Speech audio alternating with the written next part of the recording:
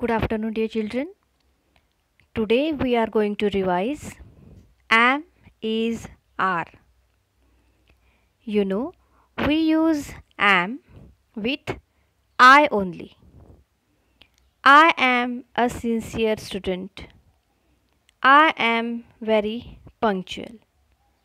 So we use am with I only. Then, then next word is is.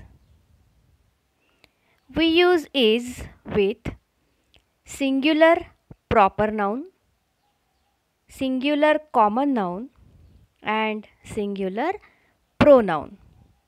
For example, Rama is very shy girl. Now Rama it is singular proper noun. So we use is with Rama. Rama is. The garden is green everywhere. The garden. Garden is singular common noun. So we use is with garden. The garden is green everywhere. She is very innocent. He is very naughty. It is too cold. We hear she, he, it are singular pronoun. So we use she is, he is, it is. Next word is are.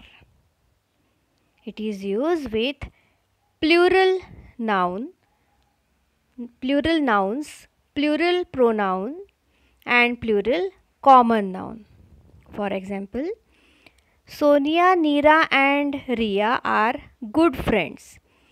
Now see here there are there are three proper nouns Sonia, Neera and Ria.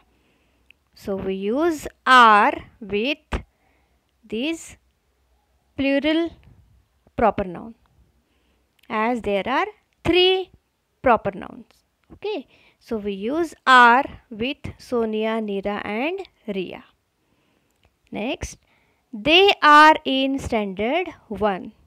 Now they, it is plural pronoun. We can use they instead of Sonia, Neera and Ria. They are in standard 1. Third example is books are in the bag. Now books it is plural common noun. So we use are for books. Books are in the bag. So children, in this way we revise am is are.